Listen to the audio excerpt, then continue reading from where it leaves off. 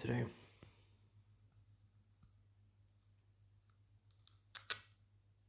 Um, human all too human. Maybe we'll chat more today. I don't know. We'll see. Um, all right, so it's more. He's getting into more into the religious stuff. I think, yeah, the asceticism and stuff like that. I think. So, uh, yeah, I'm reading Friedrich Nietzsche, Human All Too Human, a book for free spirits, R.J. Hollingdale's translation. All right, I'll just immediately begin here. 137. There is a defiance of oneself of which many forms of asceticism are among the most sublim sublimated expressions. For certain men, for certain men feel so great a need to exercise their strength and lust for power that, in default of, uh, of other objects, or because their efforts in other directions have always miscarried, they at last hit upon the idea of tyrannizing over certain parts of their own nature, over, as it were, segments or stages of themselves. Exactly. Uh, that's this ascetic stuff here, right? But he will Nietzsche will later talk about in Genealogy of Morals a sort of philosophical asceticism, kind of.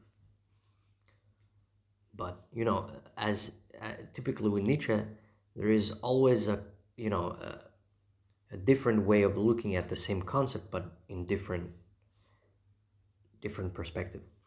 And also, uh, that's the thing with him. It's always you always have to consider all the for and against, for and against. You don't settle. You don't. You don't. That's with Nietzsche. You know, he, doesn't settle. Uh, he wouldn't have settled even in the will to power. That's you know, a lot of people think uh, he built or or his sister actually tried to make it as that, as if he was going to make a system. But it's not a system. but it was ambitious. But it, it, in, you know, he, he, he dropped the will to power book and started with the reevaluation of everything, of all values. Thus, some thinkers confess. Thus, some thinkers confess to views which are plainly not calculated to increase or improve their reputation. Some downright call down the disrespect of others upon themselves when, when by keeping silent they could easily have remained respected men. Others retract earlier opinions and are not afraid of henceforth being called inconsistent. On the contrary, they strive to be called so and behave like high spirited riders who like their steed best only when it has grown savage is covered with sweat, and is tamed. Thus a man climbs on dangerous paths in the highest mountains so as to mock at his fears and trembling knees. Thus a philosopher adheres to views of ex... There you go. Actually, he keeps this. He keeps this thought. This thought he will keep. Uh, he keeps this in uh, Genealogy of Morals, which is a little bit later, you know, a couple of years later, actually, and, you know, he keeps this thought. Thus, a philosopher adheres to views of asceticism, humility, and holiness in the light of which his own image becomes extremely ugly. Right. But it's still a part, you know, like it's still a, this division of oneself, this mockery of one's own nature, this spernere se sperni, spernere se sperni, answer, con, answer contempt with contempt right? Spernere, contempt. Uh, this spernere sperni, of which the religions have made so much, is actually a very high degree of vanity. The entire morality of the Sermon on the, on the Mount belongs here. Man takes a real delight in oppressing himself with excessive claims and afterwards idolizing this tyrannically demanding something in his soul. In every ascetic morality, man worships a part of himself as God, and for that he needs to uh, diabolize the other part. part. Right. So he makes the other part the devil. But makes a good point here. But still, um,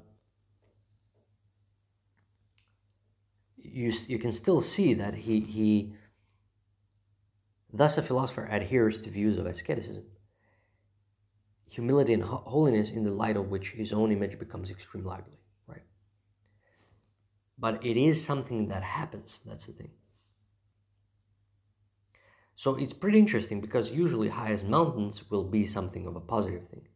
But here it's a dangerous path. Although well you know a lot of time he will say it's a dangerous thing and still that's a good thing live dangerously he says but that's the thing with nietzsche we should take his later words in you know the longer we go the the more we get to his you know he has filtered out a lot of stuff it's unfortunate that he didn't live longer Nietzsche sucks. Long live Kant.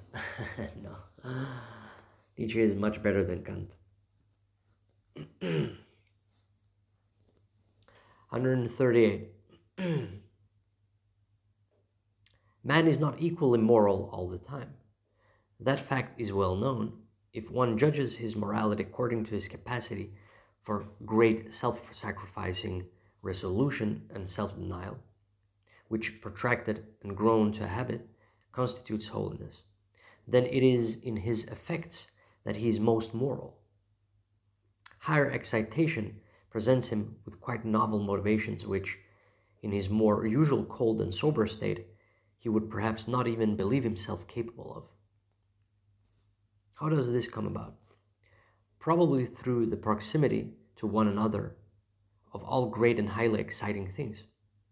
Once a man has been brought to a state of extraordinary tension, he can resolve equally well to take a fearful revenge or to break himself of his thirst for revenge.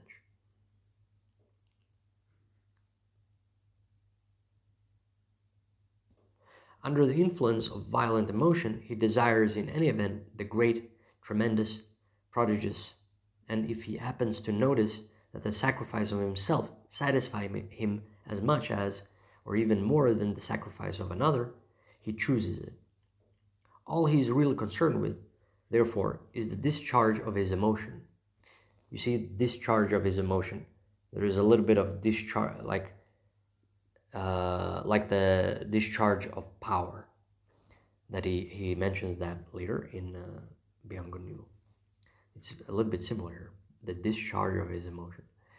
All he's really concerned with, therefore, is the discharge of his emotion.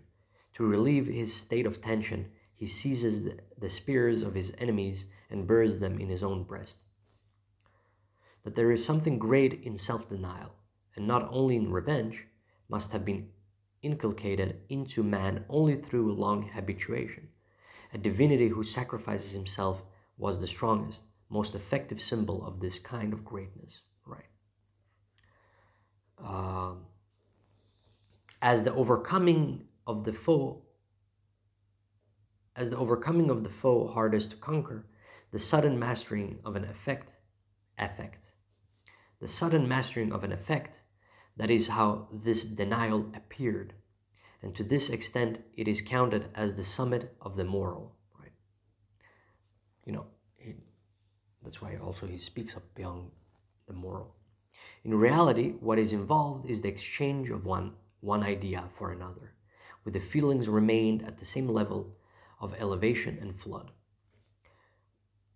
When they are grown sober again and are resting from this effect, men no longer understand the morality of those moments, but the general admiration of all who has experienced, experienced it sustains and supports them.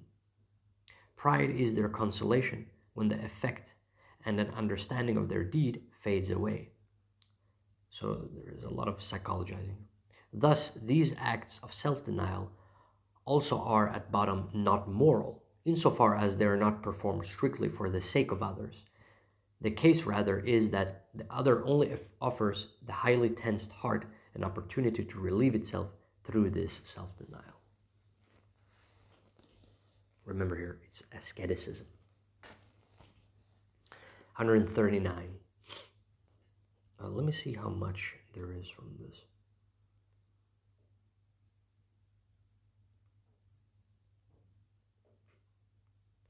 Religious life.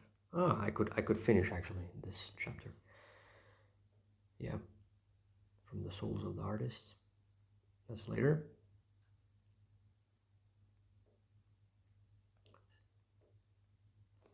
There is a sort of uh, asceticism he talks about with philosophers from that perspective. But uh, obviously, he, he'll say, but it's not self denial. There is a difference there. I wouldn't say that that part that is a self denial. That's more of a discipline thing. because he does live more and more minimally, you know, more and more away from you know people or leave it through his self denial right 139 in many respects the ascetic too seeks to make life easier for himself and he does does so you know it, it simplifies life right and he does so as a rule by complete subordination to the will of another or to a comprehensive law and ritual somewhat in the way in which the Brahman decides nothing whatever for himself, but is guided every moment by holy writ. You see, he is uh, he has a lot of Eastern influence as well, which is not weird because you know Schopenhauer and so forth. Uh, you know, venturing into Buddhism and stuff like that. This subordination, this subordination is a powerful means of becoming master of oneself, right? So there is a sort of, you know, uh, self discipline here, right? One is occupied and thus not bored, and yet one's own willfulness and passions are not in any way involved. Well, I think there is actually a middle ground one could reach here. You can have this self discipline, and still you, your passions are also involved, so to speak, but as a motivating factor. But that's more me and not Nietzsche here. And passions are not in any way involved, right? Because that's not really what he's talking about here. After one has acted, there is no feeling of responsibility and therefore no pangs of remorse. One has renounced one's own will once and for all, and this is easier than renouncing it only now and again. Just as it is easier to relinquish a desire altogether than to enjoy it in moderation, right? It's yeah, that's actually true in a lot of ways it's easier if you're gonna let's say you're gonna stop eating bread it's much easier to just totally get rid of it um, because otherwise if you eat a little bit it's harder to maintain you know. Sometimes you will go extreme here and sometimes you want to deprive yourself of it but you know you will probably bounce back. So yeah it, it is uh, yeah.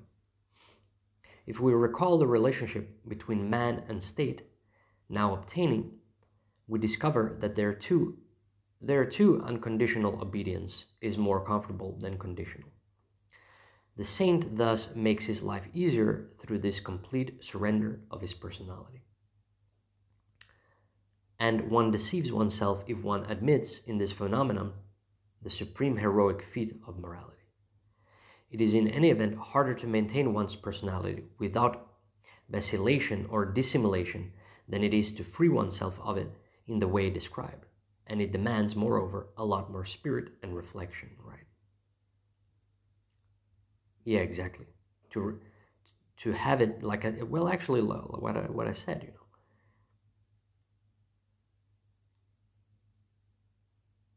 Uh, th there is something in between here that could be possible, right? It is possible. 140. After having discovered in many actions more difficult to explain that pleasure in emotion as such, I would also recognize in regard to the self-contempt, which is one of the characteristics of self saintliness, right? Self-contempt. But that's a thing Nietzsche is totally against, this whole self-contempt, you know. He's for life, always. that pleasure in emotion as such. I would also recognize in regard to the self-contempt, which is one of the characteristics of saintliness. You know, like you you focus. There's a lot of Christian stuff here. Like, course, it's not just Christian, but it is similar in Buddhism as, well and so forth. But, you devote yourself to God and so forth. Right, he's talking about asceticism. Characteristics, characteristics of saintliness, and likewise in acts of self-torture, through hunger and flagellation, flagellation, dislocation of limbs, simulation of madness, and means by which these natures combat the general enervation of their will to live, their nerves. They employ the most painful stimulants and cruelties so as, at least for a time, to emerge out of that boredom and torpor into which their great spiritual indolence and their subordination to the will of another, just described, so often plunges them. The most usual means of, of the ascetic and saint employs to make his life nonetheless endurable and enjoyable consists, uh, let me read that, 141, right? The most usual means the ascetic and saint employs to make his life nonetheless endurable and enjoyable consists in occasionally waging war and in the alteration of victory and defeat. This end he requires an opponent. No, to this end he requires an opponent and he finds him in the so-called enemy within. Right? The enemy within. To Nietzsche, you know, you yourself is not an enemy. Life is not an enemy. You're, we're not going, going to go against life. Although this is great. I mean, uh, this book is great because it goes into details uh, it's a precursor for the later stuff. Uh, you know, he has settled from this. So that's the thing, you know, like I said, filtering out after a moment, you know, you go pro and con, pro and con, you know, for and against, for and against, for and against. But once that has settled there, you know, you continue. And that's basically Nietzsche's method, you know, in a lot of ways. I do think, uh, I do think uh, Walter Kaufmann is right a, a lot about that. Uh, there is a lot of truth in that, in his method. But there is there are also certain things that that could be you know captured and you know put together and, and you kind of have his his core belief because it's not like he never you know he settles on some stuff you know he, he never questions for example uh, you know, it's always the masses versus the few, for example. Um, the will to power, uh, eternal, you know, uh, he, he questions everything, but uh, but th there are some things that are impossible to, you know, you can question them in, in that, you know, who has a will to power, for example but the fact that will to power is there, you know, that, that's that's kind of a thing. But I mean, it's not that wrong actually. And the whole overman, I mean, Übermensch, I think it's very uh, misunderstood actually. You got to remember over animal. He mentions in this book, in Human All Too Human, the over over animal. You know, there is an aphorism called over animal, and and we're constantly to be over to overcome ourselves because that's exactly what we did like the, more you overcome this animalistic side of you know our uh, animalistic side the more we become human actually. And we're not as close to the animal kingdom anymore. But that's what makes us human. That is the thing that makes us unique. Of course we can talk about you know intelligence and this and that but you can see those things in animals, but there is some, something that you can't see in animals. And that's actually taking a step much, you know, taking a much stronger step. Uh, like Nietzsche says, you know, higher species, right? Higher, higher and higher, going higher. He says higher. I don't think that implies, you know, superior and, and inferior. Actually, in one way, it is actually, in fact, superior. It is superior because we could potentially survive the longest of, of everything that exists in terms of intelligence. And so, in that sense, it is superior. Uh, but we, co- we could also screw it up, of course. But yeah, I think that's actually a very good summarization there. Um, anyway, occasional waging war in the alteration of victory and the ascetic type here. To this, well, the saint and ascetic. To this end, he requires an opponent and he finds him in the so called enemy within. He exploits especially his tendency to vanity, right, to a thirst for honors and domination, then his sensual desires, in an attempt to see his life as a continual battle and himself as a battlefield upon which good and evil spirits wrestle with alternating su- success. It, it is well known that sexual fantasy, no, sensual, but we will get to sexual here. It is well known that sensual fantasy is moderated, indeed almost suppressed, by regularity in sexual intercourse, while it is, on the other hand, unfettered and dissolute when such intercourse is disorderly or does, does not take place at all. The fantasy of many Christian saints has been dirty to an uncommon degree, right? The more you suppress, the actually worse it can get, actually. By virtue of the theory that these desires are actually demons raging within them, they do not feel any very great sense of responsibility for this state of for this state of things. It is to this feeling that we owe the instru- instructive candidness of their self-confessions. Self-confessions. It has been in their interest that this struggle should be in progress all the time to some degree, since, as already said, it provides entertainment for their tedious life. right? Yeah but so that this struggle should seem sufficiently momentous to excite the continuing interest and admiration of the non-saints. Sensuality, sensuality had to be more and more stigmatized as heretical. Indeed, the danger of everlasting damnation was associated so closely with these things that it is highly probable that throughout whole ages of ages, throughout throughout whole ages, Christians even begot children with a bad conscience, whereby a great injury has certainly been done to mankind. And yet, here truth is stood completely on its head, which is, in the case of truth, particularly unbecoming. Christianity had indeed said, Every man is conceived and born in sin. I mean, to me, to say that is a sin to me, but anyway. Christianity had indeed said, I think Nietzsche has said something similar somewhere. Christian, I think maybe in Zarathustra. Christianity had indeed had indeed said, every man is conceived and born in sin.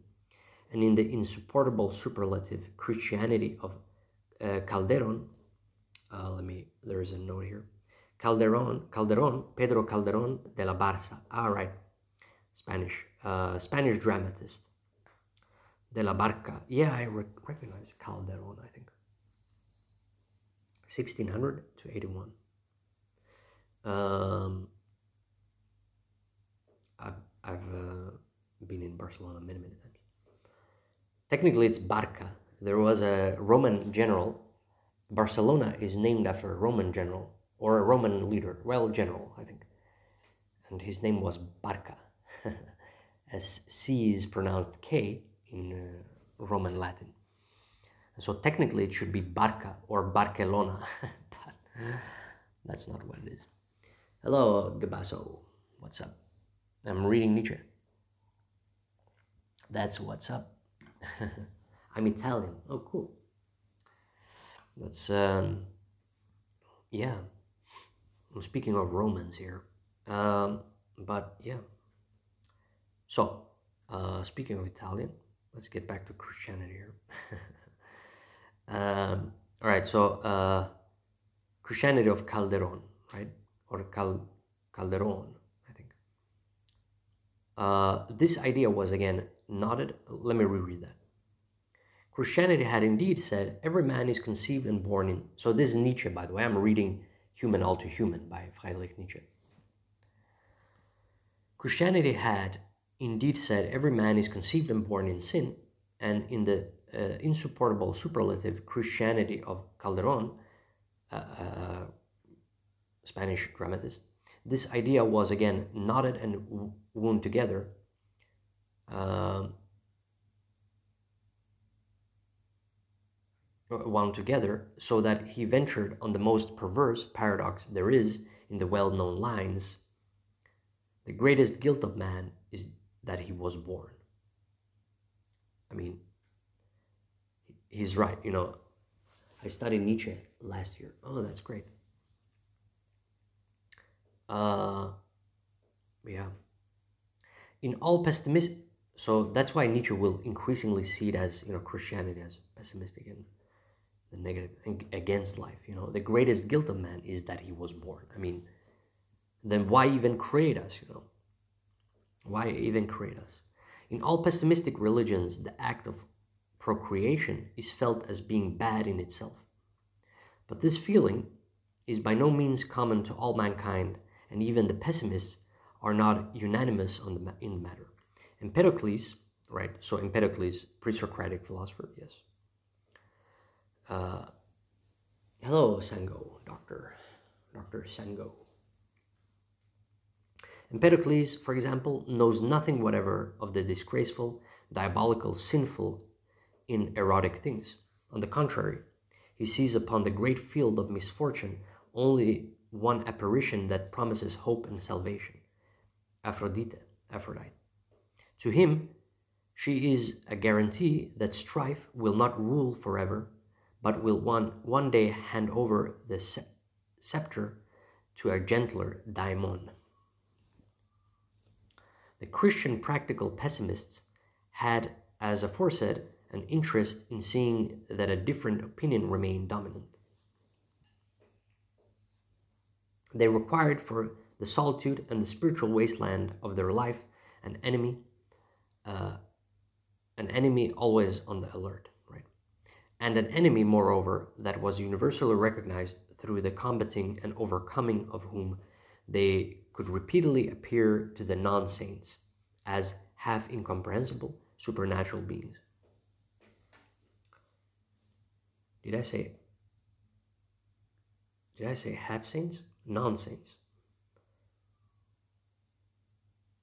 That was universally recognized through the combating and overcoming of whom they could repeatedly appear to the non saints as half incomprehensible supernatural beings.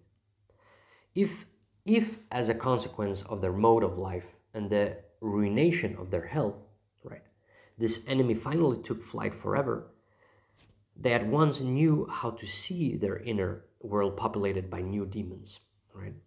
Daimon demons. Actually, demons are not a bad thing in. Um, I remember correctly, in uh, Jewish, in at least in earlier Jewish thought. Uh, what are you talking about? Um, the rise and fall of the scales, called pride and humility, entertained their brooding heads just as well as did the alter- alternation of desire and repose of soul.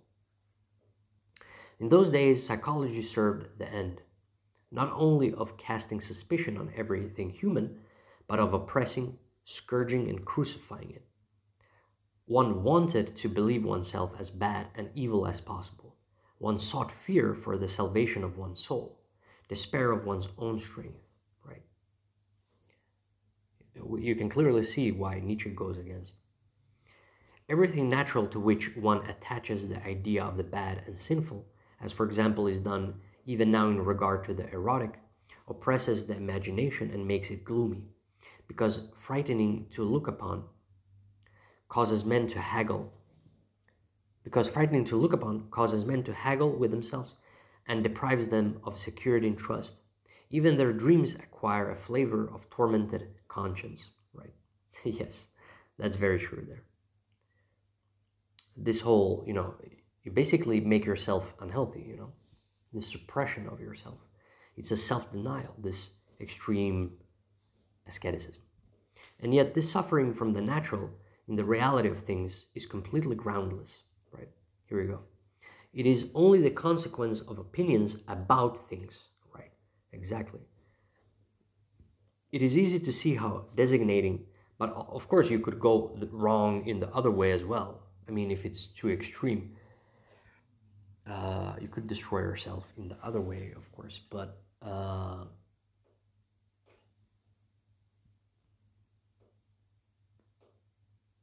but you know you, you need self-discipline but you need enough self-discipline so that you you know you create your uh, whatever it is you want to create and yet this suffering from the natural in the reality of things uh, right opinion about things it is easy to see how designating the ineluctably natural as bad and then invariably finding it so makes men themselves worse than they need be they need be the artifice practiced by religion and by those metaphysicians who will have men evil and sinful by nature is to make him suspicious of nature and thus make himself bad.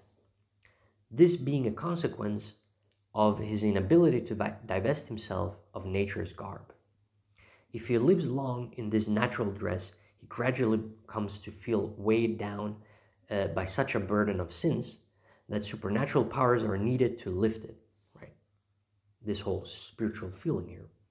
And with that, and with that, the need for redemption, we've already discussed steps upon the scene. The redemption we've already discussed, right? Steps upon the scene, answering to no actual, but only to an imaginary sinfulness. But not just that. Um, the whole weighing. Uh, he had in a previous aphorism also this explanation of when you believe that this God thing is you know, you look yourself in the mirror, but all you see is just error instead of, you know, when you compare it with God. Uh, and so this is a, a burden, you know. But when you think about God, it's unburdening. But also, you know, you negate life. You you you uh, you know, that that's what happens here. In in the extreme sense, you know, he's not talking about any. You know, he's talking about saints and ascetic uh, Christians or ascetic, you know, holy men and so forth, monks, to, uh, but not just monks, but you know, uh, answering to no actual, but only to an imaginary sinfulness. Uh, go through the moral demands exhibited in the documents of Christianity one by one, and you will find that in every case they are exaggerated, so that man could not live up to them, right? it's like impossible. Uh, hello, uh, Joseph Hyung Hyung. Uh, I I don't know how to pronounce that. Um, but all right. So so yeah. Uh, exaggerate. You, you can't really you know they make the rules so hard that you know on purpose, so that man could not live up to them. The intention is not that he should become more moral, but that he should feel as sinful as possible. If man had failed to find this feeling pleasant, why should he have engendered such an idea and adhered to it for so long? Just as in the world of antiquity, an immeasurable quantity of spirit and inventiveness had been expended on augmenting joy in life through festive cults, so in the era of Christianity, an immeasurable amount of spirit has likewise been sacrificed to another endeavor man was by every means to be made to feel sinful and thereby become excited, right? Animated and living in general. Also, it's uh, also it's almost uh, opposite of the Roman, right? It's in the Jewish uh, sphere, but it, it has Hellenistic, you know, Christianity has Hellenistic inspiration. But in, in a lot of ways, it is the opposite there in terms of this asceticism here. To excite, animate, and live in at any price, is that not the watchword of an enervated, overripe, overcultivated age? Let me just take a sip here.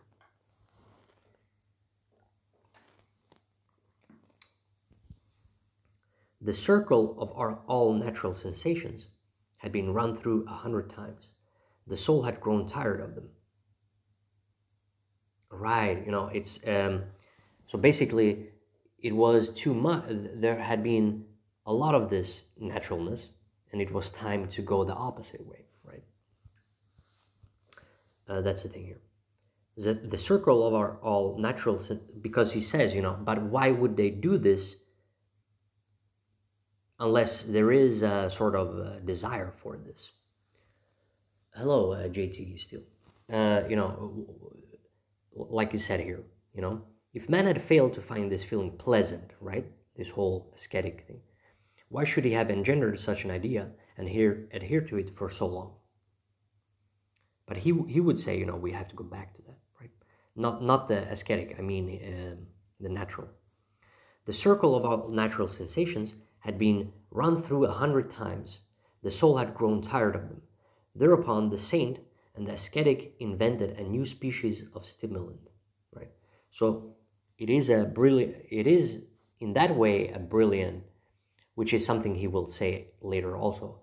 In that way, it is a, kind of a genius way, even though he's going against it. That's the thing with Nietzsche. Uh, you know, uh, just because because he sees it, you know, more objectively than just that. Although he does take it personal as well, to a certain extent.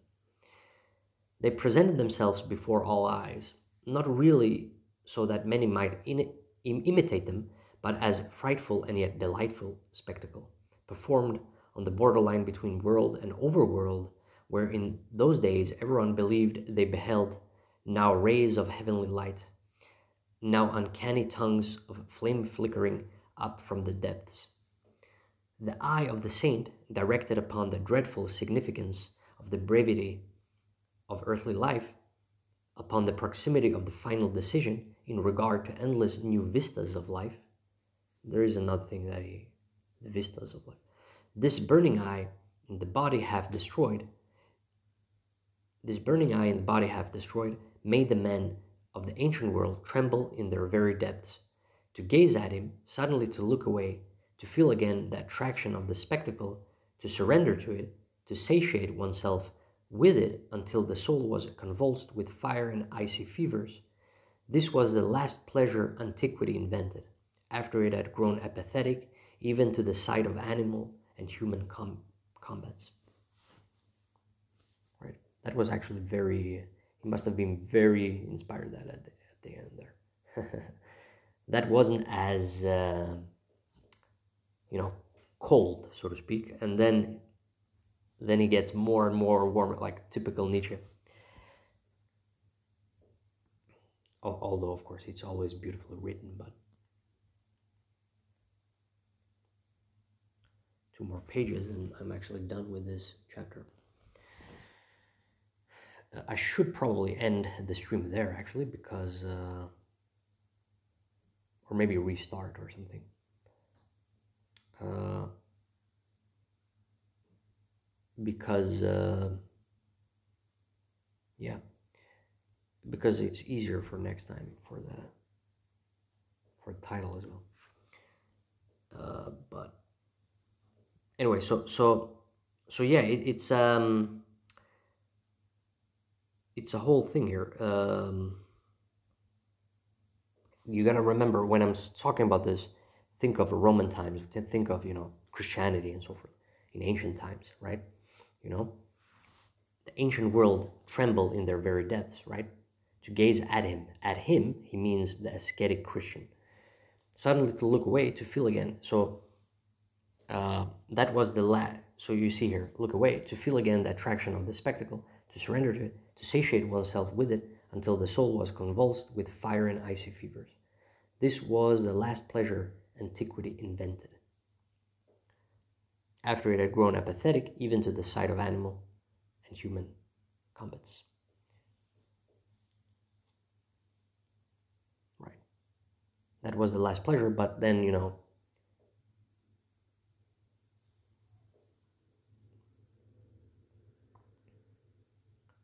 well, uh, it was, he says, also tired of this beforehand, you know. Like he says here, because because this is the way he explains it because you know why would someone invent such a pleasure of self-denial and self-hatred basically? You know this sinfulness and all that stuff. And so the explanation is well in this uh, this this is one explanation. He's not saying you know typically with nietzsche this is not the ultimate and be all and end all of everything you know? Uh, this is one way of looking at it. This mini thing here you know uh, epigrams and aphorisms. Uh, you know it, it's a way of looking at it. Uh, of course you could probably expand a lot here on just that one but there you know he, he wants to do more not just that. 142 to summarize what has been said right to that condition of the soul in which the saint or one becoming a saint rejoices is composed of elements with which we are all very familiar, except that in the light of other conceptions that the religious they appear, uh, no, except that in the light of the other conceptions, then the religious they appear in other colors, and then they usually incur the censure of mankind as surely as garnished with religion and ultimate meaning of existence and the ultimate meaning of existence. They can count on admiration or indeed worship, or at least could count on them in earlier ages, right? In earlier ages. now the saint practices that defiance of oneself that is a close relation of lust for power and bestows the feeling of power even upon the hermit.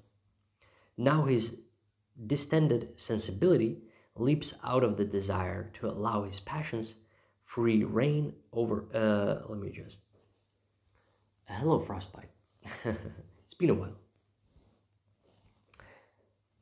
Uh, now the saint practices, so I guess it's back to uh, uh, current day, I think.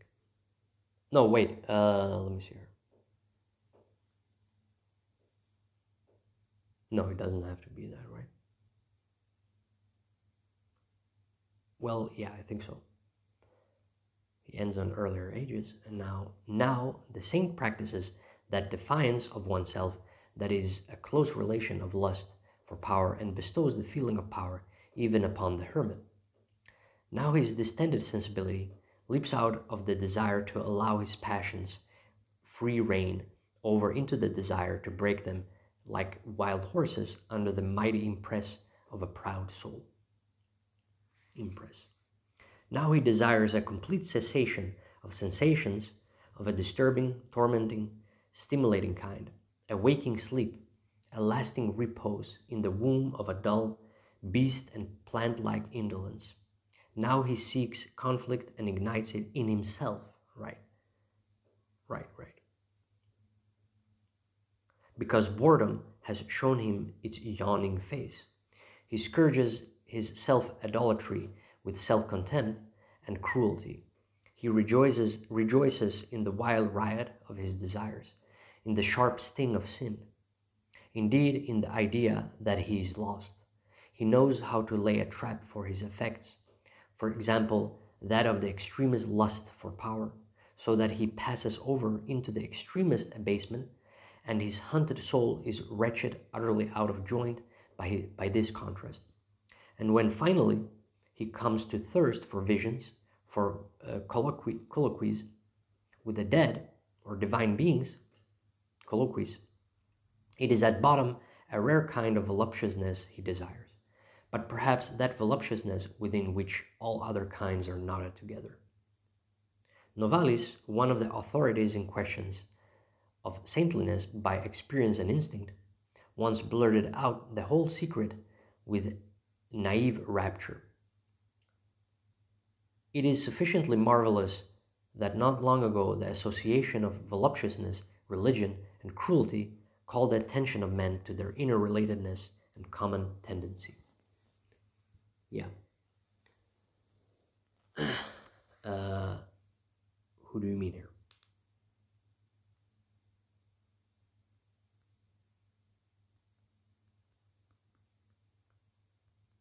He's talking about saints, holy men.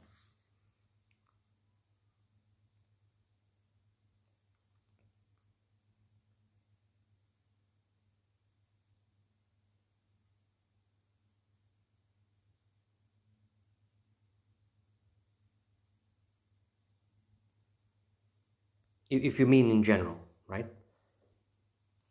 Uh, Novalis is a poet, German poet, uh, 1700. Well, late, I think, right? Uh, yeah, late. Uh, he died young, actually. But in general, uh, he's talking about, you know, uh, uh, this sort of priest. Actually, even even this whole feeling before this, he he what I, what I explained a little bit earlier, um, that uh, you know, it, it, today it becomes this power power thing. You know, you wanna he wants to he stimulates himself basically extremist lust for power. You know, uh, for example, that of the extremist lust for power, so that he passes over into the extremist abasement, extremist abasement, and is hung and his haunted soul is wretched, utterly out of joint by this contrast. And when finally he become so, you know, would you recommend this book for a deep read? Yes. Yes. Definitely. Definitely, yes.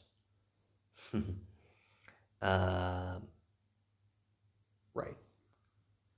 So, uh, but yeah, uh, you know, I, I, I won't uh, I won't. Uh, I will end the stream soon, actually. But well, maybe we could talk a little bit if you want to do that. But um,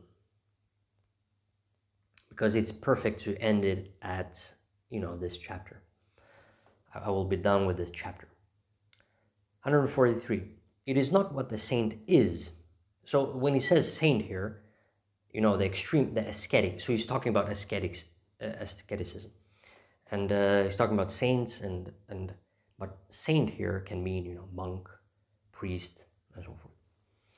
It is not what the saint is but what he signifies in the eyes of the non-saints that gives him his world historic value.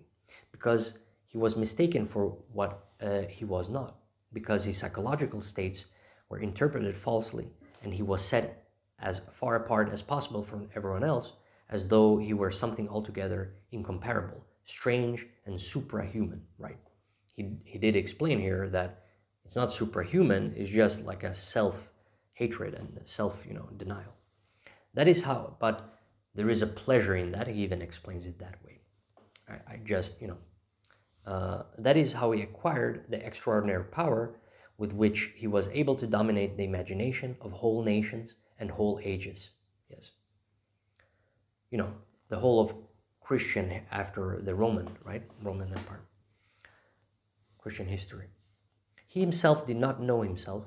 He himself deciphered the characters of his moods, inclinations, and actions by means of an art of interpretation that was exaggerated and artificial as the numerical interpretation of the Bible.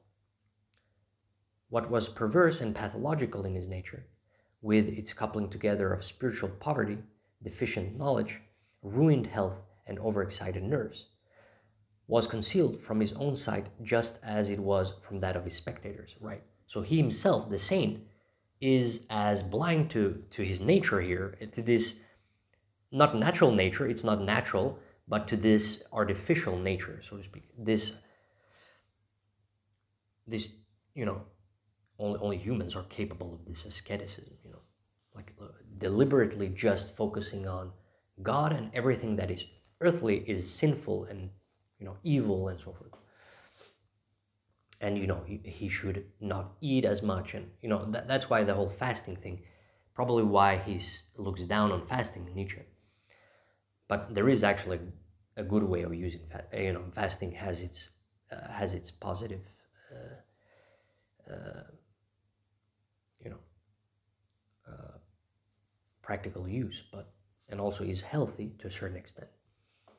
But I would say, you know, this is not healthy. You know, uh, to be that ascetic is not healthy. You're actually suppressing yourself. So, uh, so yeah, concealed from his own sight, just as it was from his spectators, right? Spectators, everyone else that's not saint. He was not a, and he says spectator because, like I said earlier, uh, it was like a spectacle to these in the ancient world because it's a totally different thing. The ancient world usually they you know had these festivals and and uh, you know sacrificed animals and, and drank wine and, and so forth. You know, not just wine, but you know lived like that. Um, but that's the opposite in terms of Christian asceticism. He was not an especially good man, even less an especially wise one, but he signified something that exceeded the ordinary human portion of goodness and wisdom, right? There is the, but it's, you know, I almost said, you know, ordinary human, but he says, you know, the ordinary human portion of goodness and wisdom. You know, it's more specific. All right. Uh, although, well, you know, it's almost the same thing there, but human intelligence. But anyway, belief in him, belief in him lent support. So belief in the same. belief in him lent support to belief in the divine and miraculous, in a religious meaning of the existence, in a religious meaning of existence, in an imminent day of judgment. Right. So it looks. Uh, that's why he says. That's how he thinks probably well, at this point, at, at least in this um, aphorism here, that maybe that's how maybe that's how uh, people slowly became Christian, and maybe that's why it spread because they could see how extremely meaningful it could be for this person, and then maybe you know, it looks like well, there is something to this, you know, uh, when you look at it just like that. Uh, in the evening glow, and also, I mean, there is actually a physical thing here as well. If you're fasting that much, for example, you know, abstaining from all these things and having this extreme self-discipline, and and with fasting, uh, you will begin, you know, uh, to have much stronger imagery and hallucinations and stuff like that. So it's not that weird, actually. This makes perfect sense, actually although I'm not, you know, maybe this is, I would say, I wouldn't say this is the main reason why Christianity spread, uh, but I, I, can see his, um, I can see his point here that it looks uh, like it, it, it shows, you know, belief in him lends support to belief in the divine and miraculous, in a religious meaning of existence, in an imminent day of judgment. Uh, in the evening glow of the sun, of the coming end of the world that shone over all that shone over all Christian peoples, the shadow of the saint grew to monstrous size, to such a height, indeed, that even in our age, which no longer believes in God, there are still thinkers who, who believe in the saints, right? Right, you know, the whole no longer believes in God, right? God is dead, you know, but that's later in uh, the Gay Science. Uh, I read a little bit of Gay Science. It's such a great book. Uh, but yeah, 144. It goes without saying that this depiction of the saint, which is sketched after the average profile of the whole species, you know, that you know it's a general. He's not going into, you know, uh, uh average profile of the whole species can be countered by many depictions which might evoke more pleasant feelings. Individual exceptions stand apart from the species in general, either through great gentleness and philanthropy or through the charm of an uncommon degree of energy. Others are, are in the highest degree attractive because their whole being is flooded with the light of this, uh, uh, with the light of certain delusions, as for example was the case with the celebrated founder of Christianity? Jesus, who regarded himself as the innate Son of God, and as a consequence felt himself to be sinless, so that through this conceit, which ought not to be judged too harshly, since the whole of antiquity swarmed with sons of gods, that's true, yeah. He attained, so it's not, you know, uh, too harshly because, you know, there are many that were like this. He attained the same goal, the feeling of complete sinlessness, complete unaccountability, which nowadays everyone can acquire through scientific study. Right? Well, you know, uh, that is true, like this whole unaccountability. Because your nature is, but that's earlier. And, uh, but that, that's why he said earlier also in the earlier stream when I said something like, uh, when I read that, uh, a similar thing can be achieved, but in the natural sense, you know, in, in the scientific or scientific sense. Well, almost the same thing there. He does unite those. Um, because science, you know, uh, mimics uh, nature. He says something like that. Well, the models, I, I would say, the models try to imitate nature but yeah, so so the whole complete unaccountability thing is that well well complete sinlessness and complete unaccountability, right? So you can get it this way, but he of course he sees this as the you know it's not the natural or the healthy or the better way or not just better but uh, it's not the most truthful way because nature is the most truthful that we can talk about reality so to speak but um, but the unaccountability, like I said, is, or almost said, is this whole thing that, you know, you're not accountable for the, the actions you take really, really, because you're born into what you are. You know, you, you can't really uh, control. You can control to a certain extent, of course, but, uh, uh, or even if you control, like these ascetics, that gets unhealthy. But if you don't, you know, you can go both ways, of course, but um, but but but still uh, your personality you're born with it you know? So uh, anyway so that's why you know unaccountability which nowadays everyone can acquire through scientific study. So that's what he believed up until here you know 1878 uh, that you know you can acquire this through scientific study. You don't need religion. I i have likewise taken no account of the indian saints who occupy and inter so this is inter you know it's interesting that he people always talk about christianity but he has a lot of uh, eastern uh, thoughts and influences as well. I have likewise taken no account of indian saints who occupy an intermediate position between the christian saint and the greek philosopher and to this extent do not represent a pure type.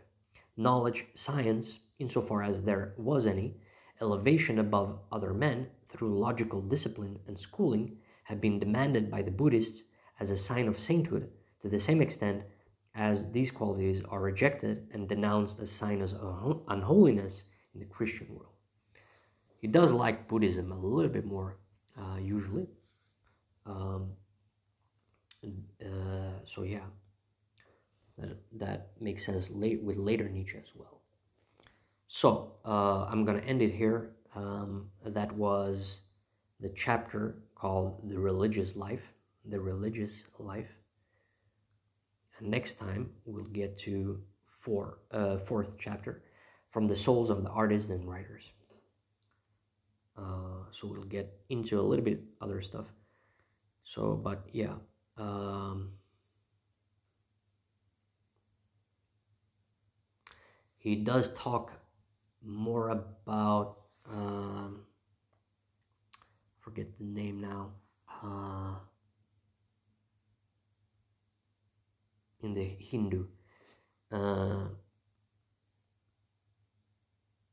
oh, what was that called? Ah, Book of Manu. Right? Book of Manu. He mentions that a lot later. Yeah, the Book of Manu.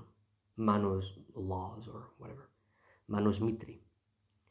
Uh, but yeah, but but it, there uh, Nietzsche thinks in the in the Hindu here, Indian saints, right?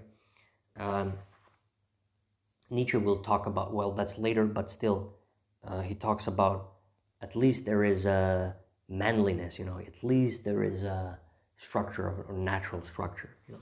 He's not for uh, artificial structures either. So Nietzsche is always, that's also a constant through with Nietzsche. It's always with the natural what happens in nature. Uh, not just, you know, obviously from the human perspective, like we try to overcome our animal, but uh, at the same time, he, he wants to do that in, re- you know, we do that in reality. And we've always done that in reality. That's the thing. You, don't do that. You, you can't achieve that really. That's just, um, you know, um, like he said here, it, it, will just be a delusion, you know? Uh, or he said something like that. Uh, but, but yeah. So, uh, if you want to, you can vote for the next book I should read.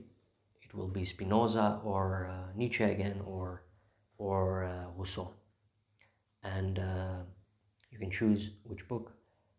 you can you can get to the info panels, info info page, info panels. And uh, yeah you can vote for it there or in the chat here. And uh, you can also get to the um, uh, Nietzsche had hello uh, Athamis Athamis. Nietzsche had a good view. You can you can subscribe to my YouTube channel as well if you want to Nietzsche had a good view of achievement I don't know what you mean by that view of achievement his view of achievement you, you mean like success and stuff like that but it didn't tell us how. Well, each person has to uh, discipline themselves and also listen to their, you know, and actually discharging their power, so to speak. Uh, that's probably what Nietzsche would have said. Although he would have said, you know, uh, the greats are doing that. Uh, you know, most people won't do that. That's what he would have said.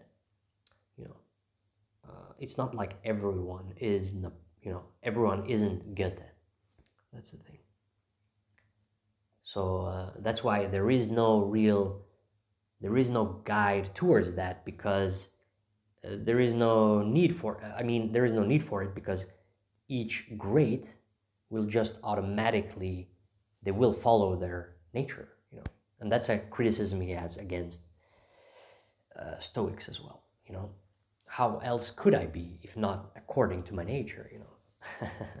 I can't be anything else. Yeah, you have to figure it out yourself, and also uh, you would know it yourself, right? You know what your what your desire. You, you know, or if you don't know this, I mean, uh, I don't know about you personally, but but I'm just saying. Uh, you have to know this instinctively here and uh, so uh, yeah and then you have to actually follow through as well and, and do that but but and not just do that you can't force yourself like it's an automatic thing you are um, you couldn't live without this you know it's for example if if philosophy or or any art for example not that philosophy is art, I wouldn't say it's the same thing, but uh, if you feel deprived, if you're not doing this, then you know that this is it, you know, this is it. And uh, you're hurting yourself if you're not doing that.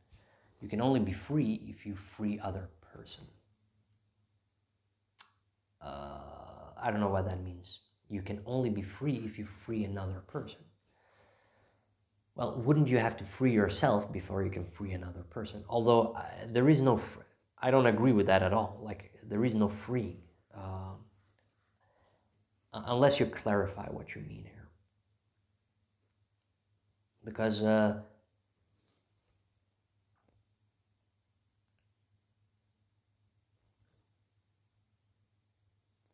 or do you mean free from another person? I mean that is Nietzsche to be free from another person. In terms of you know you, you distance yourself. You're not you're not supposed to just repeat your master's words for example. He didn't want to do that. He didn't want to have a disciple that just repeats and parrots. He wanted an individual thinker. And that's why he didn't see that in peter, peter gast his uh, his assistant basically that's why he didn't see him as that, because he, he wasn't, you know, creating his own. And that's what Nietzsche valued there, creating his own. You know? And he was his own. He even says, you know, I'm the last Dionysian. I'm the last of my kind, he said.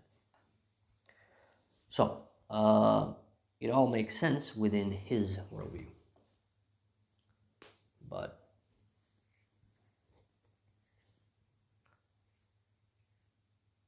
but yeah. You have to free yourself to become someone to free others. Well yeah that's a little bit different than what you said earlier.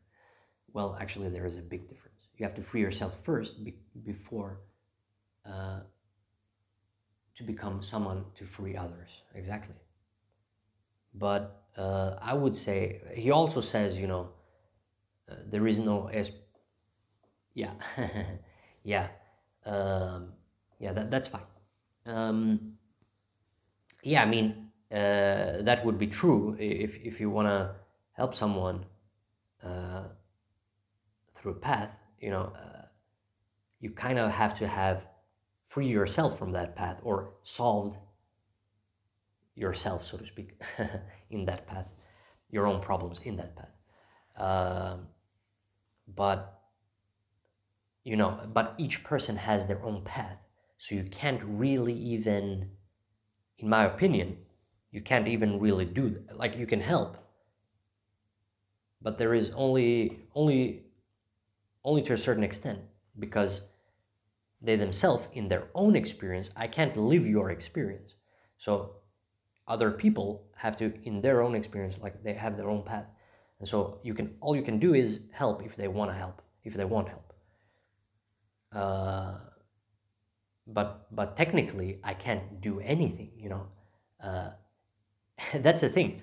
I, I'm stuck in my body. You're stuck in your body. I can do. I can't really do anything. I can just tell you stuff. That's really it. You know, if you think about every and if you think about anyone that gives you advice or anyone that you know tells you this or that. Uh, you have to apply it. It's impossible for them to do this for you.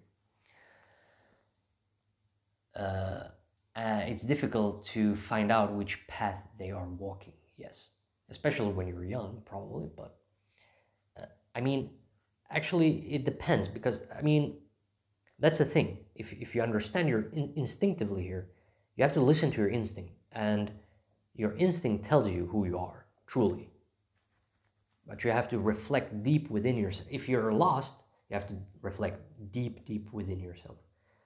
Uh, and that, and no one can do that for you. Only you can do that. Uh, so, but that's the thing, you know. When you're young, you also listen to a lot of opinions and so forth, and uh, it confu- confuses you. That's why that's why a certain asceticism and a certain self-discipline is actually necessary so that one can find oneself. Actually, there is no finding, just actually I would I should say this. There is no finding oneself. It's just clearing oneself up. that's that's all it is. Because you're always you know, you've always been this. It's just that it's like muddy water instead of clear water. Uh, but it's still water, all right? That's the thing. So, but uh, I can give you my, you know, all advice come from a perspective given to someone who has his own perspective. Exactly, exactly. So exactly like I said, uh, if you know, I give my perspective to you know this advice, but this person has its own path. You know, I give the advice of the perspective from my path, but the other other person here walks a different path. Why is it a different path? Because we're two separate beings. We can't have the same path because our inclinations are different, you know? The way, the stuff I'm attracted to and inclined towards will be different from this other person. Actually, it could be similar in the general sense. And that's why you could help each other in terms of you know you can be a mentor for example uh, but uh, to be its own this other person, the younger, let's say, usually it is, you know, and they will eventually, if they want to become their own, they will eventually have to go their own path. Uh, but yeah, of course, you can have help in the when you're young. Oh, I feel home. yeah, that's great. But uh, yeah, yeah. I don't know what else, but if you have any other questions, um, because uh, yeah, I will I will end the stream. I was thinking of ending the stream about here, um, but yeah, that's the thing, and and, and that's why Nietzsche actually does go against a, a lot about this life guiders. He says, you know, life, the guiders in life and stuff like that. Probably because he he he doesn't think that everyone can do this. I mean, maybe universally. I mean, maybe if, but no, it's not possible because not everyone will have this philosophical or you know sensibility. You know, so we never reach each other, but we can become a part of something that connects us. I think I think we're all always connected. Uh, I mean, we're connected in a lot of ways. Uh, but um, it depends on what you mean here. Become a part of something that connects us. I mean, you, you could mean in a, in a more grander, like in a more meaningful way, maybe. Uh, but yeah, we don't reach each other. Um, I do think we, you know, uh, hello, Purple Joshi. I'm actually ending the stream very soon, but um, uh, we do reach each other. We, we do connect, right? That's the thing. You're right. I mean, we don't really, uh, you know, it doesn't touch, but this sounds ridiculous, but part of a greater good. But that depends on what you mean by greater good. Uh, if you mean by good, you know, um, a sort of uh, well, yeah, uh, you know, continual survival, uh, then I would say, yeah, that's a good thing. But uh, do you think Candide translates well as its satire? Uh, that's a good question. um, that's a very good question. It's like poetry, right? It's almost impossible uh, to properly. Uh, that, that's why I want to learn German as well, so that I can read Nietzsche, because Nietzsche is very artistic in, in the way he's writing, in the style, and uh, you know you, you will you're missing stuff. I know that for sure because there are he plays with words and stuff like that. I've seen examples and I can actually understand a lot of them because uh, it looks like um, it looks like Swedish, uh, but that's because it's German. Uh, but yeah, satire. I mean, yeah, probably missing something there. Yeah, could be. Kind of depends on the translation as well, the translator. Uh, part of a greater good. I mean, that, that's such a, this whole, you know, part of a greater good here. We have to be more specific you know, what's this greater good? You know, is, is it the AI? is the AI the greater good? And what, what do we mean by greater good here? You know? Um, so yeah, it could be that, but yeah. So that's that, and uh, I will have to end the stream here and we'll continue to the, with the next um, chapter next time. Greater good, surviving. Yeah, uh, to me that's that's the closer answer. Yes. Yes. Because to me, it's not you know greater good in, in what else can it be? You know. but it doesn't mean utopia. Well, utopia means nothing. So utopia is nothing. But yeah, a great channel. I sub. Thank you. Thanks. Um, and uh, yeah, we'll, we'll uh, I'll read. Uh, I'll continue, and uh, I hope you have a great evening and day and or whatever it is. And uh, I will see you soon again. And you can just rewatch the whole stream, of course, and uh, you know to catch up. Uh, you know, but but it's up to you guys, of course. And uh, you know, like I said, if we're separate. You can't control people. Anyway, uh, well, of course you can to a certain degree, but the inner you can't really. Anyway, uh, have a great evening, and uh, I will see you soon again. Goodbye.